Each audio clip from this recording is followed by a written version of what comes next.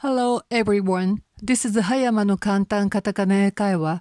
This time I'd like to show you about videos uh, which happened in Ishikawa uh, Peninsula. ここもだいぶ揺れて何が起こるのかととても心配になりました。皆さんは大丈夫だったでしょうか、えー、日本にいる外国人の方がこの回の地震でどのような影響を受けたか今どういうふうにしてらっしゃるかでもしお近くにその海外の方がいらしてでそのお友達があまああの能登半島とかに暮らしていらしたら、えー、本当ここの情報もちょっとお伝え願えればと思います。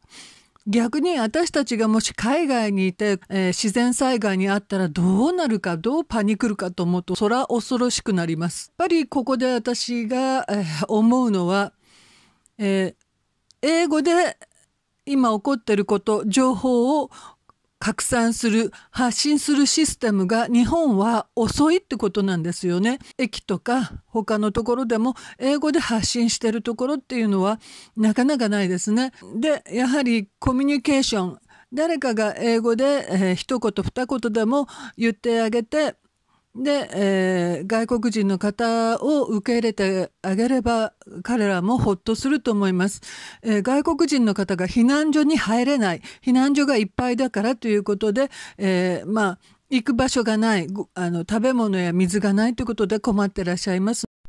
今回やはり悔しいなと思ったのは空飛ぶ車がないということですね。もう構想はあるのにこういうところであの実際に使えないというのはすごく悔しいですね。空飛ぶバイクもあるんですけどねこれが使えない。災害時に役立つロボットとかそういうものも作ろうと思えば作れるはずなのに作らない。テクノロジーの面で進んでる国なのにこういう面では遅れてるなと思ってちょっと残念な気がします。通信の方でドコモと au が海の沖の方にアンテナ基地を設置したそうなんですけれどもあなんかそういうふうにもっといろんなアイディアやテクノロジーを使って、えー、大きな震災に備えるということを政府がやってくれたらなと思います。それでは動画をご覧ください。Please watch.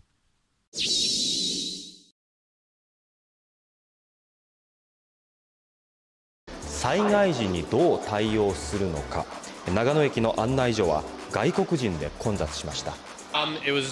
地震を経験したことが今までになかったからとても怖かったよ。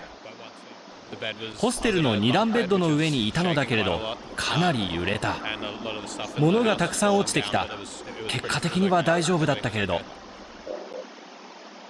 1日の地震で長野市などで震度5弱。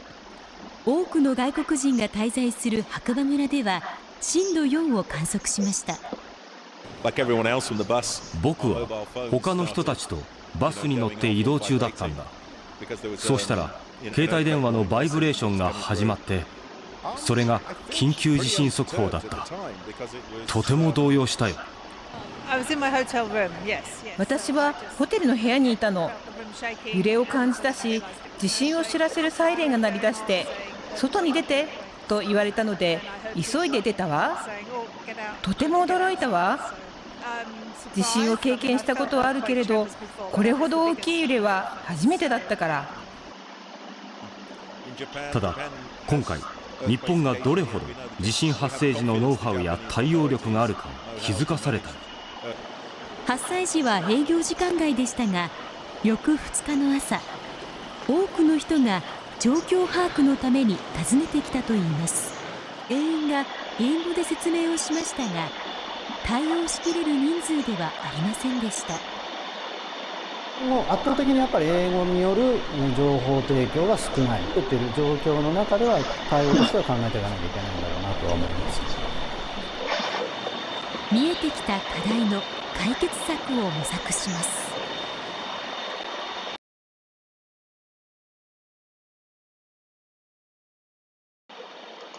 launched on foreign residents and visitors to Japan are also feeling the impact of the quake. Authorities in Ishikawa Prefecture on Tuesday launched an online support system in several languages. You can see the URL below. The service is available in Japanese, English, Vietnamese, Chinese, Indonesian, Thai, and Burmese. Officials say they are considering ways to include more languages. The person in charge of the service says they have received dozens of emails asking for help locating relatives and friends. They have also had inquiries about whether to go to an evacuation center and how to cope when food and water are in short supply. This is scary, even for Japanese people, but there are many foreigners who are in an unfamiliar place and don't understand the language. And I think they're also anxious after experiencing a huge earthquake. We'd like to provide information and assistance for people who are experiencing different stresses from Japanese residents, such as language and cultural barriers, and to reduce those barriers as much as possible. We hope people will make use of these services.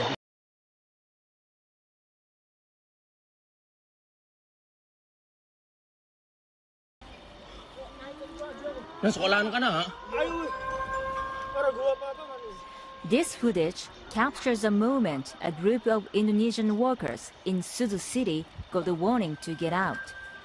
They ran through streets as evacuation warnings blare, not sure where to go at a fishery from Indonesia. He says he and 16 colleagues were napping or taking showers in their dome, located right near the ocean.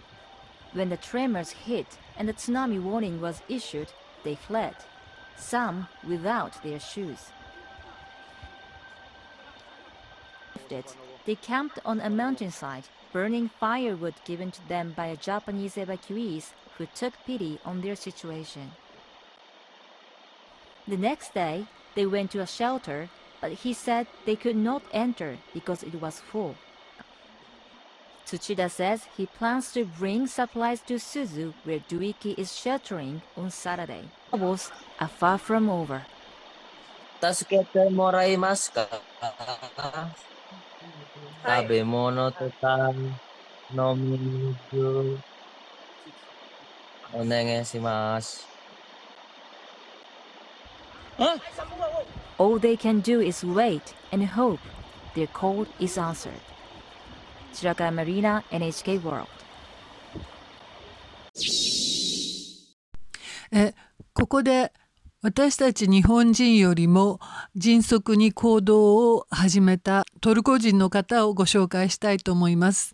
もう本当何かやらずにはいられなかったっていうお気持ちだったらしいんですけれども日本に30年以上滞在したトルコ人の方なんですけどすごくガッツがあるっていうかもうやってやるでっていう感じで被災地に赴いて炊き出しをしたそうです、えースープみたいなもので一生懸命作ってそして被災者の方々に配っていました。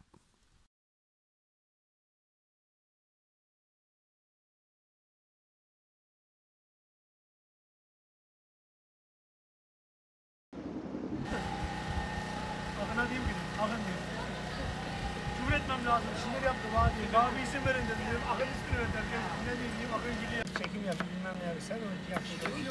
Ne şey bu? Asim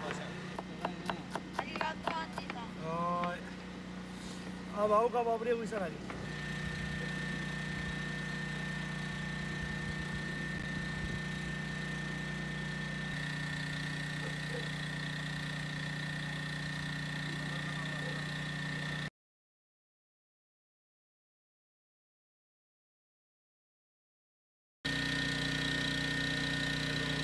帰ってきたらやっぱりそれこそテレビつけると火事の映像このね崩れた映像皆さんの困ってるってあの分かってるとやっぱり放っておけないですよねその2日の日からもういろんな活動はしてるんですけどもうそういうので火ついちゃって行かなければ行かなければやっぱ何とかしなければって。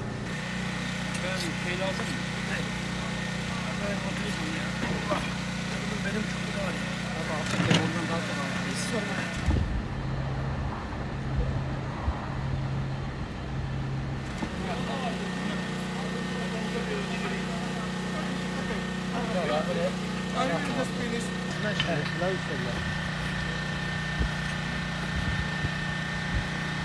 味もそんな正直大した味は出せてないんですけど、まあ、こういうとこですので、まあ、急いでやるのでそれこそ700人800人分をもう随時出そうと思うと流れ作業になって多少抜けてるところもあると思うんですけどでも皆さんすごく喜んでいただきましたねもう本当にたくさんのありがとうがいっぱいでえまだこれから被災者の方々は避難を強いられますけれども本当になんとか、えー、耐えていただきたいなんとか頑張っていただきたいと願うばかりです。